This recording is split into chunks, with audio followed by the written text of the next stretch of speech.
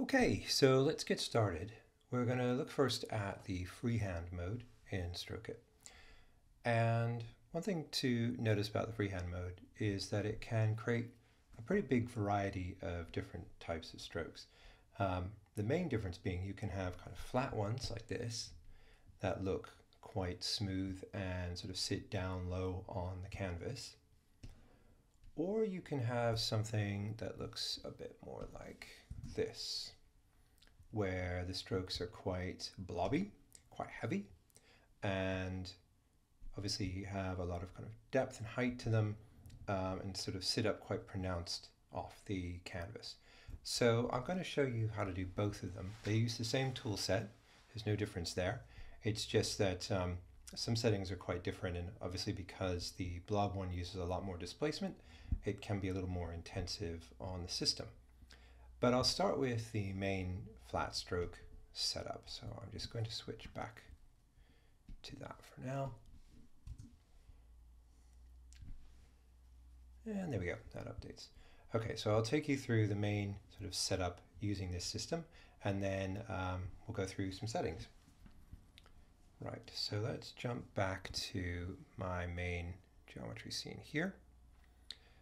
So when you open stroke it, you'll probably see something a lot like this. We're just focused on this freehand section right now. I've disabled the auto trace section just because otherwise it would mean as soon as you open the tool, it would have to cook all of that and that takes time. So jumping inside this freehand uh, V2 node here, and we'll see we have the kind of main stroke it freehand setup. And that consists of mainly this draw curve here is where you actually draw the original paths that become the strokes. Um, then through some other processing, it's these nodes here, um, WM stroke it, one and, and the other one here, this one here. This is where kind of all the stuff's going on. And basically what I've just done is set two, sent two of them out to render. Um, and then I was using that switch a minute ago. I was just switching between these two here, just so I could quickly show you the difference there. Uh, so we're going to make our changes right now just in this one here. And um, so notice as soon as I select this node here, that a lot of new settings appear up here, particularly if I go to this brush mode. Um, and these are all custom settings which I've made for StrokeIt, um, which give you kind of logical controls over what these strokes look like. Then up here, as I said before, is this draw curve node, and that is where you, you lay your paths down. So what I'm going to do here is have this selected and um, go up to this part of the parameters here. And you'll notice a couple of things. First of all, there are these three different tabs here, and that's important to notice those um, are different. Once you've laid down some strokes, you want to be in this uh, stroke mode, but when you draw them, you want to be in this curve mode here. So I'm going to just select stroke now, and where it says number of strokes 5, I'm just going to take that down to 0, and now I haven't got any. And basically what I'm doing here, by the way, is I'm previewing both my SOPS uh, top view here and also Karma rendering down here, so I can see my strokes appearing pretty close to real time. So now I switch back to curve here and um, you notice I've got a color selected here. I'll just keep that and I'm just going to draw over the viewport now. Just pops on down here. You see pretty quickly it appears down here in my Karma viewport. Each time I draw a new one, I can just try uh, shifting the color a little bit. Let's see if we get a new stroke there. A couple things to notice as I'm doing this is that the tool is actually pressure sensitive. So if you're using a Wacom tablet or another tablet that has uh, pressure sensitivity, the draw curve node will pick that up and pipe that through into the stroke it's set up. So if I push down really hard to start with and then go kind of easy after that, you can see that pressure is being reflected in the stroke and also what's appearing down here at the bottom. And let's see if I do kind of a few more. Actually, no I didn't want to keep the color. So now if I just go back to the list of strokes, if I go take that from four down to three, it'll delete that last one. And of course you can edit individual strokes and change the color afterwards. Um, I'm going to do a new one here. Let's just change the color to something new. Let's go for something a bit yellow. Do that. And then maybe something a little bit kind of red. There we go. And we've got those strokes down in the uh, in here now. So let's, whoops, go back to my camera. Make sure I got that locked off. Just have a quick look at what we're seeing here. Um, so each individual stroke uh, got painted on. They all have this little kind of lip at the end. I'll show you what's how to control that. Um, and yeah, so there you go. By the way, these are rendering pretty much in real time in Karma. Um, so that's what you're seeing here. You might be able to hear my graphics card whirring away down below. Uh, that's all good. So let's just take a look at some of the controls here um, in the Stroke tool. So I'm going to select this one here. That's the one I'm working in. And first thing I want to look at is the color controls. So if I change to this color tab here, uh, ignore this ramp for now. We'll get to that in a minute. What's actually happening here with the color currently is that it's being determined by first the color that was selected when I drew the curve, and then that's going through a color system that's kind of expanding that into um, a bigger range of colors, and it's doing that kind of automatically. So let's have a look at some of our colors up here. So you might notice this uh, orange stroke here, uh, kind of reddish orange one, um, isn't a pure color.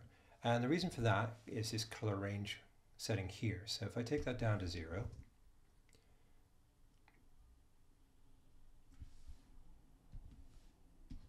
down to zero, there we go. Uh, you'll notice that um, I'm not seeing those colors anymore, uh, just that red. And then as I gradually bring that up higher, you can see that it's bringing more diversity of color into the palette. Um, and that is basically just a, a kind of uh, an arbitrary system I created where it basically just adds additional layers of color um, from inside SOPs, inside a control in SOP. So you can play with this if you find those controls um, and maybe uh, add your own sort of customization to this. Um, but for now, it's pretty much um, kind of runs automatically like this. I just take the color range even higher, and you can see now we start to get some almost um, getting close to kind of complementary colors uh, when we get right to the top here. There you go. You can see a big, big range in there. Just go back to some of these other ones so you can see that. And they all pretty much do that the same. Each stroke has a slightly different kind of noise texture offset in there, so they don't look, um, two won't look identical, which is useful. Um, and then if I change this color range bias, uh, you'll see that it just basically the whole color shifts more and more away from the original stroke color, which can just give you a little bit of um, more room to experiment with there. Okay, so if I switch on this manual color, basically everything just gets taken over by um, this ramp here. Do that here. There we go. So once I've done that, you can see now basically this ramp is, is sort of in charge of all the color. So if I pop, for instance, you can see this white's quite strong. If I change that to something like a bright green, which is probably gonna look nasty, uh, you can see, there we go, that green appears there. So just to show you that basically you can control uh, the color yourself um, and get quite a big range of, um, of customized colors in there. You can put as many knots into that ramp as you want going to switch back to the automatic color system. There we go. And now we'll start to look at some of the actual brush controls in this. So let's have a look here. Anytime you see a ramp in the stroke StrokeIt setup, you um, should understand that as basically from the left side being the start of the stroke and the right side being the end of the stroke. So for instance, this width one, which is the very first one we come to, this is a control. If you want to manually set the width over the length of the stroke, you can. So for instance, if I wanted to just make them very thin uh, at the beginning, I do that. You can see up here in uh, SOPs that's changing it. Um, it'll take out a minute to update. There we go in Karma. Um, and so you have that manual control. By the way, some of these things are controlling settings inside SOPs, and some of them are setting changing settings inside COPS. So um, some things you'll see instantly update inside your SOPs preview, and some will take longer to update back in Karma. Um, okay, so some other settings to look at here. Bristle intensity, um, this actually says bristle intensity normal, and this one says bristle intensity displacement. So these are driving the shader and determining how much of the kind of brush bristle texture we see. So if I zoom in quite close on here, go down like that,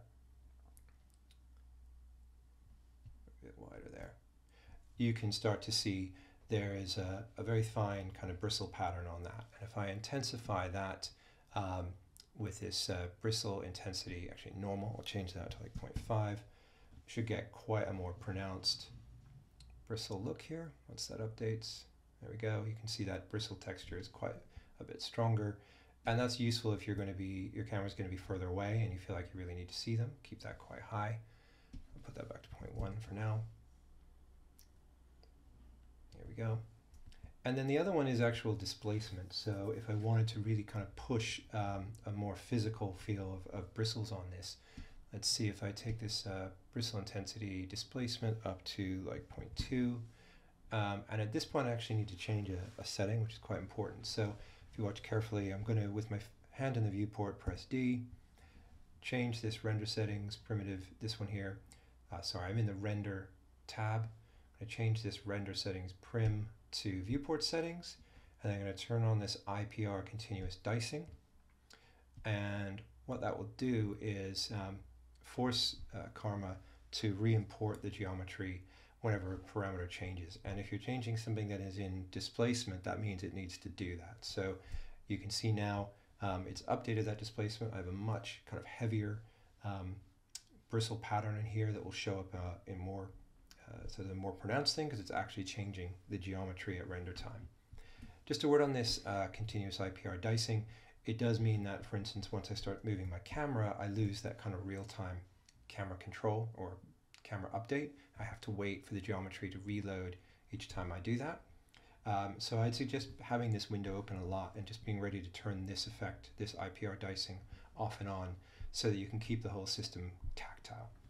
I'm going to take that uh, geometry intense, bristle intensity displacement back down to like 0.05, just so that's um, not very strong. And that will update now because I've got the dicing turned on.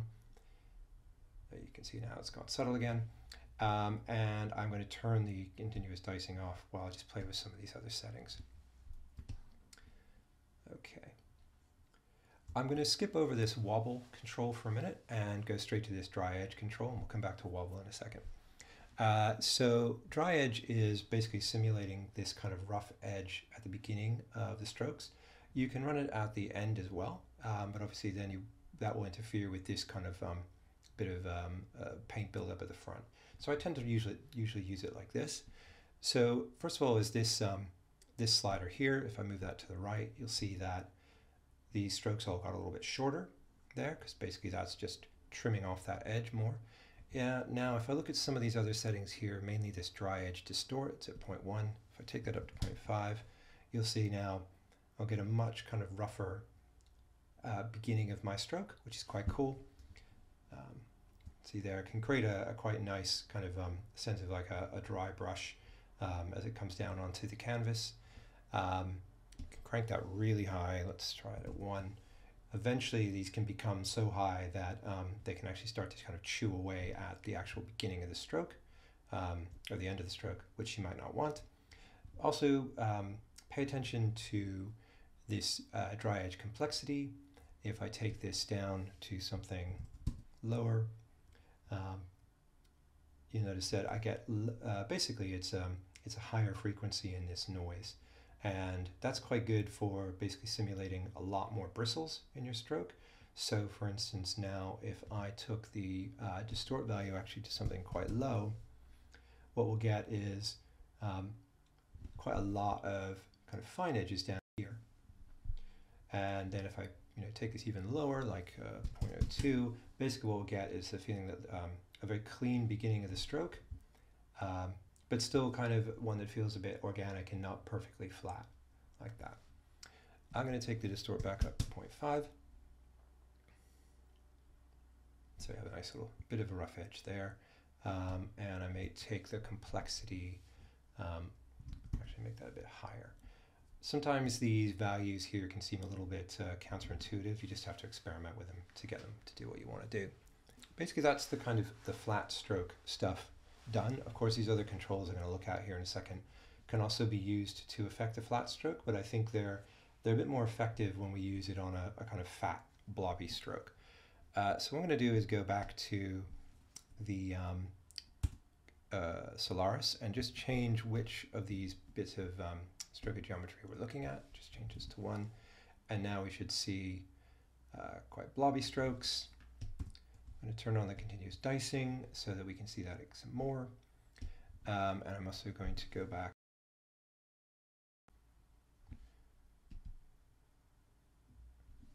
stroke it and change the color mode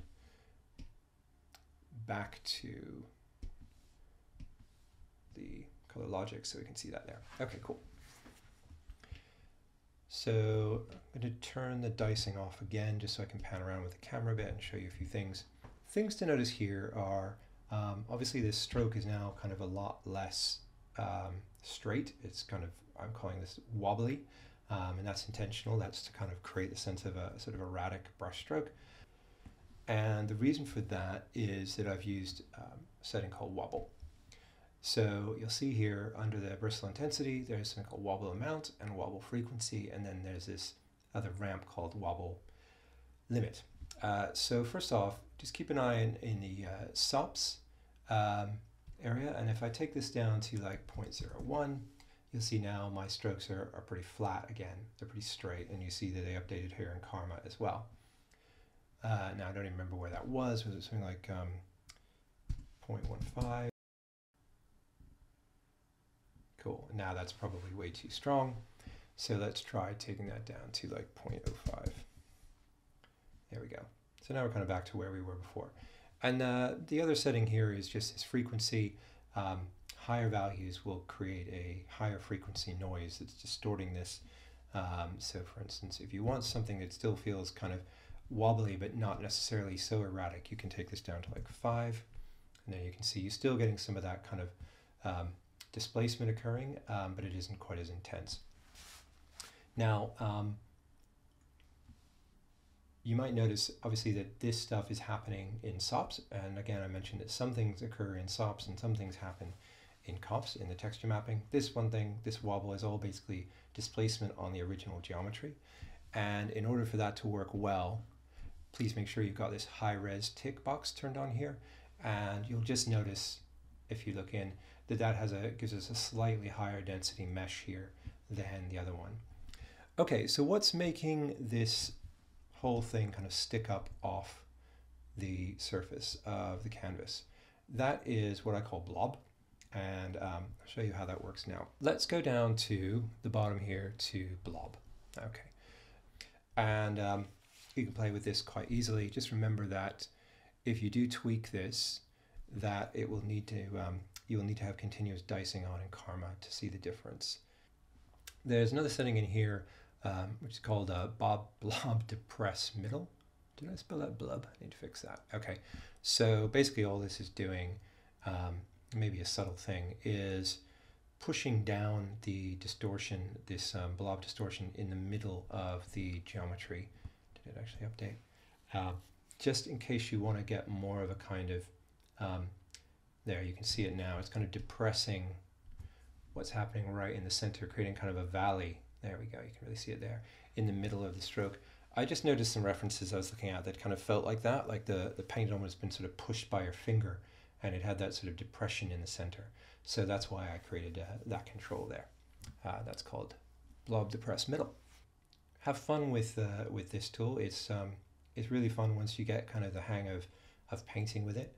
In the next uh, tutorial, I'm going to look a lot more at how this tool works uh, under the hood, and you can see kind of how COPS and SOPs work together to give you uh, to create the system, and also if you want to sort of go in and mess around with it break it, smash it, make it better, all those cool things. All right, thanks for listening and watching, and I will see you really soon.